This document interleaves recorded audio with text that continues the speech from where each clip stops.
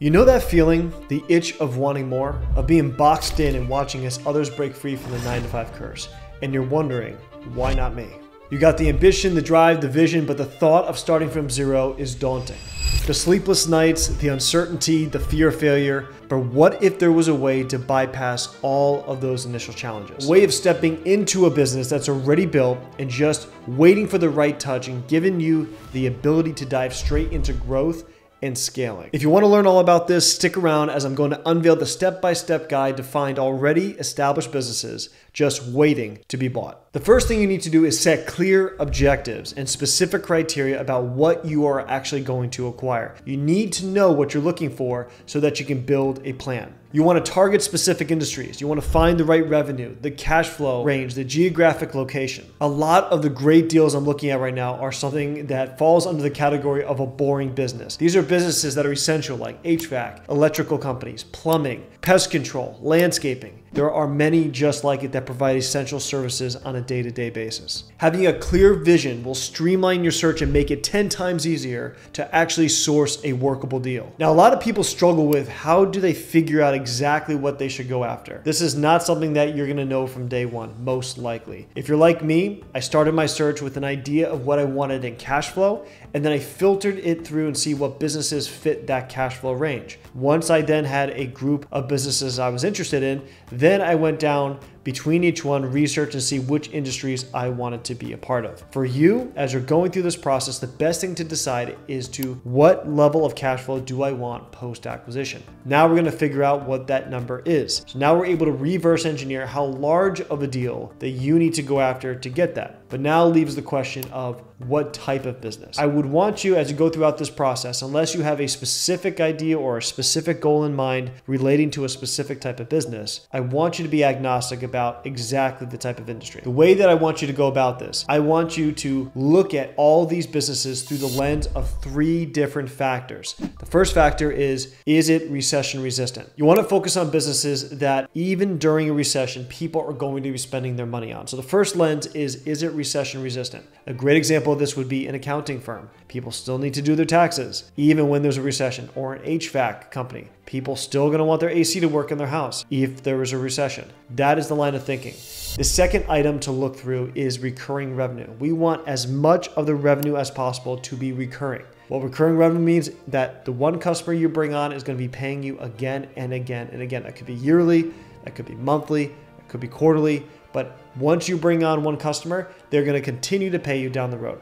This makes your business much more valuable. It also makes your business much easier to scale. So we want recession resistance, we want recurring revenue, and the last one we want is a barrier to entry. Now, with a barrier to entry, this can also be called a moat around your business. An example of a business that has a moat would be an HVAC company to not everyone can start an HVAC company. In many of the states in the United States, you need to have a license to open up an HVAC company, right? So you want to find a business that has some type of competitive advantage. It may not be a license, it might be the size. For instance, a landscaping company. It's very easy to start a landscaping company, but it's very hard to have a landscaping company be able to take on a project like an HOA that has 300 homes. There's only a certain amount of landscaping companies that could even do that work.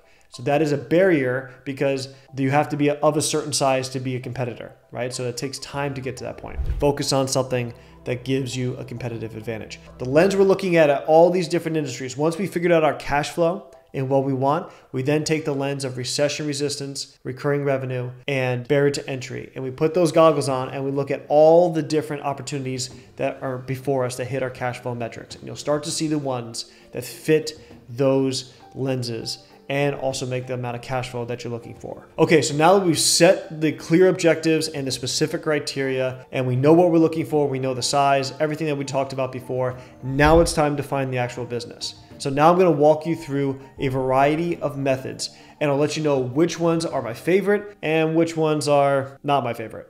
The first thing you're gonna do is leverage your network. Before you start searching through different online platforms, Sometimes the best opportunities come from your personal connections. Start by telling your friends and your family what you're planning on doing. Hey, I am going to go out and buy an HVAC company in Orlando, Florida, and this is why I'm doing it, and this is what I'm looking for. Well, guess what? Someone in your family or your friend group might have a friend or a, a someone they know that owns an HVAC company and maybe on the verge of retiring. And guess what? They can connect you to them. That type of referral is way more powerful, has usually has such better outcomes than trying to do something from cold or something from even having a broker attached to it. So start with your own personal network, reaching out to see what opportunities could be in the space that you're already in. Outside of your friends and family, let your colleagues know, mentors, alumni from your school, anything that you can imagine in your terms of your broad network.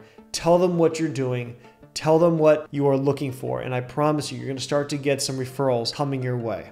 The next one is utilize online platforms. There are several online marketplaces where businesses are listed for sale. My favorite are bizbuysell.com and withkumo.com Com. Both of these sites are the best when it comes to having updates regularly. On bizbuysell.com, you're having brokers list their, their listings from all, the, all across the United States, and they have a pretty good user interface. And then with, with Kumo, it's a paid service, but it's only about $30 a month, and you're able to aggregate all the searches from BizBuySell and the other 100 websites out there that have businesses, and it takes them, pulls them into one place so you can do a search and you can see everything that's across the internet for sale. It saves me a bunch of time. I love using them. They have a great team and a great product. Before we go too much further, I'm actually going to show you exactly how I use these platforms to search for deals. So here is bizbuysell.com. And when you get to bizbuysell.com, you have the front page right here. We're to click on our state that I currently live in, and I'm going to choose service businesses as a way of what we're searching for. Click on that. And the next thing I want you guys to focus on is the top bar where you have all of the different metrics you can choose. I always go to more filters. I always go to cash flow and I put a minimum of 500K because that's what I'm interested in my current deal size. Hit apply. Next thing I'm to do is look at price. I want to make sure I'm looking at businesses that have under a 4X 4x price tag. So 4x on cash flow, 4 times 500K. The max price range then is going to be 2 million apply. And here's all the businesses in Florida that fall under the service category that are under 2 million but making over 500k a year in cash flow. Now let's go down and choose one that we like. Here we go. 10% down because it's SBA pre-qualified and it is a landscaping company that is doing over 3 million in revenue, which means that it's a large landscaping company. It has some barriers to entry to it. It's been around for nearly 40 years, it's saying right here in the listing, or two decades. So it's been around for 20 years. And it is 10 employees. The owner wants to retire, and that is music to my ears. Next thing you do, if you're interested in this listing, is you go and you would call Dimitri, who's representing this as the broker. That is how you, within a minute, can find a deal on BizBuySell that meets your parameters. Now let's go over to withkumo.com. So withkumo.com, again, I said is a paid source. It's about $30 a month. Um, I'll put a link in the description if you guys want to sign up through my link. You guys get a little bit of a discount by doing that. So we'll click on the login and we go right here and you see this is an aggregate. So this is pulling listings from BizBuySell and every other brokerage website in existence and it puts them in one spot. It makes it very easy to save time when you are doing your research. So EBITDA, we want the max or actually the minimum to be 500K and max a million. And then we're gonna go to the price and I'm gonna say max 2 million. And here's all the businesses that are there. Now, the cool thing about with Kumo is you can click on industry and it's so granular that you can get into. Look at all the different industries that they have here. So for the purpose of this, I'm gonna click on nail salon, click on that, and I see that right here, you can see a listing that I just looked at. This is a 1.999999 million dollar asking price nail salon, almost making about a million bucks a year in California. Great margins. Owner is willing to stay on, has a full management team in place, includes all the furniture, fixtures, and equipment. This seems like a great deal. So next thing I'm gonna click on is the view. This is gonna take me to the original listing and I'm gonna see here where I can contact the broker. And that's it guys. That's how easy it is to use some of these platforms to find a deal in which to go after.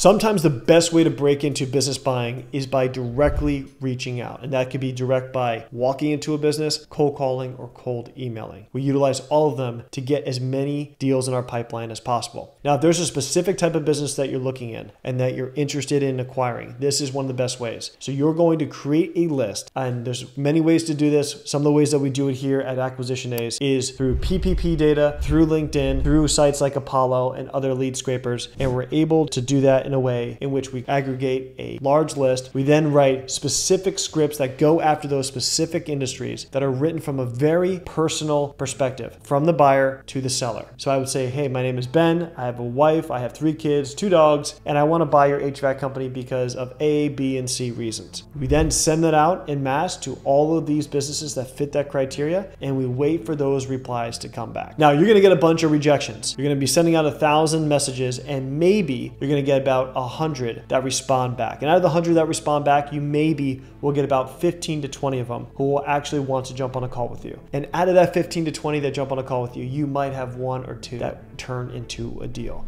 But this is something that we do constantly. There are constantly deals that are coming through our pipeline. And this is one of the great ways to be able to get a deal done at better terms with creative financing because it's just you and the seller. There's no broker, there's no one else involved. And you're able to really be able to make great deals with that type of dynamic. Some other ways that are not as good as direct outreach or utilizing online listings is industry publications and associations. These are things where you can join these different types of groups, you network within them. The good thing about them is that by networking in these types of areas, you're able able to find out when people in certain industries are retiring or they're looking to put their business on the market. Sometimes they will tell their colleagues in these types of industries so that word gets around to where potentially you might be able to hear about a deal that's coming on the market and head it off before it's actually made with a broker. Trade magazines, industry reports, association newsletters, sometimes these also will have businesses up for sale. Although this is something that is very much being phased out, these things still do exist and sometimes there are good deals to be found on them. Trade shows and conferences is another way. Now these events can be gold, and they're gold in the sense where you're networking with other like minded individuals. I don't necessarily find deals in these markets. What I do find is potential partners and investors. And then I'm able to build up that area of my war chest to be able to go and find even more deals by direct outreach or through online listings with brokers. And then I utilize these events to build up the network I have to be able to get these deals done. So they are gold, but they're gold for the networking aspect. I usually don't find great deals or people talking about deals that they're selling at these types of conferences. And remember, finding the right business to acquire is a mix of strategy, diligence, and a bit of luck. You are not going to get it done on the first few attempts. It takes time, it takes effort, it takes motivation, and if you stay on the path, you will get a deal done. It takes persistence, continuous refinement of your approach to finally find that business that hits your metrics that is going to make a difference in your financial future. Now that you got the map, the tools, and the strategy to find those businesses that are ripe for the taking, you should no longer have those sleepless nights thinking about the what ifs or feeling paralyzed by overwhelming choices or the fear of the unknown. You have a clear plan. You literally have no excuses now. You know exactly how to move forward in order to make this a reality. Now, if you're serious and you want to take action now. Follow these steps and get to work. The path to acquisition and leaving that nine to five is literally